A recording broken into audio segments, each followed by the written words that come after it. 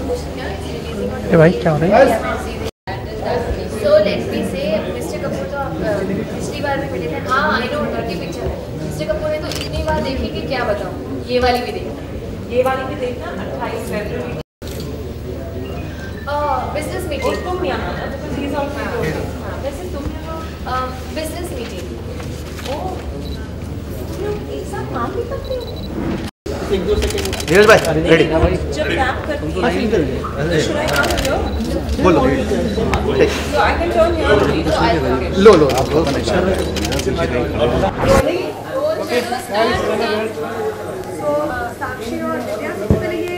Film को promote करने में क्या मुलाकात है क्या सीरियल में क्या चल रहा है कैसे एक दूसरे से आप टकराती हैं?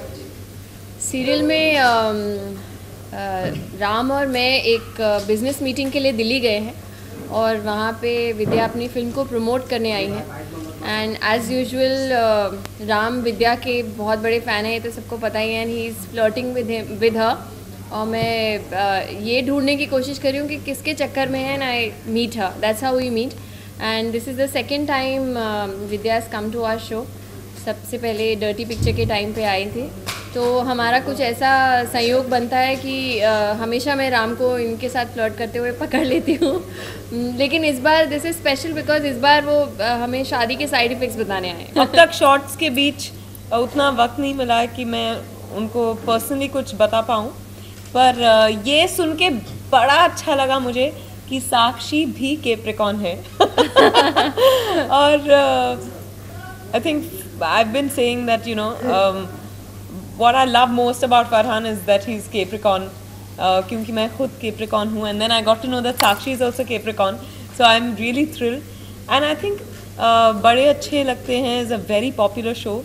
पिछली बार uh, जब मैं डर्टी पिक्चर के दौरान यहाँ आई थी तो सबने कहा कि अरे आप हमारी फेवरेट शो पे गए तो इस बार भी उसी तरह के रिएक्शंस मिल रहे हैं मुझे कि अच्छा यू गोइंग ऑन बड़े अच्छे आई सर हाँ हाँ आई एम गोइंग ऑन बड़े अच्छे. Let me tell you Vidya कि uh, जो एक्साइटमेंट आप बोल रहे हैं बड़े अच्छे को लेके वैसे ही हमारे यूनिट में भी जब ये हुआ कि शादी के साइड इफ़ेक्ट्स के लिए यू आर कमिंग सो ये डिसाइड जब हुआ स्टोरी में कि राम और मेरे साथ आपका पोर्शन होगा तो सब लोग बोल रहे थे कि हमें भी हमारा क्यों नहीं हो रहा? हमारे साथ भी होना चाहिए। So everybody was equally excited and they क्या वर बात रियली लुकिंग फॉरवर्ड कि कुछ एक सीन मिल जाए but the story was in Delhi तो सब घर पे अटक गए हैं but let me tell you everybody was looking forward for this शादी के साइड इफ़ेक्ट से यही उम्मीदें होंगी कि सबको ये पिक्चर अच्छी लगेगी।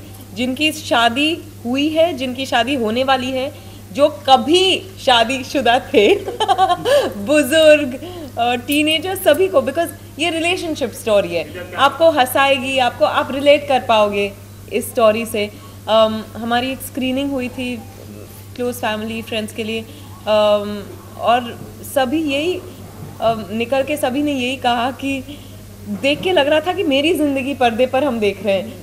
हर एक का यही रिएक्शन था and I think that was what Saket Chaudhary, the director, wanted. Thank, Thank you. you.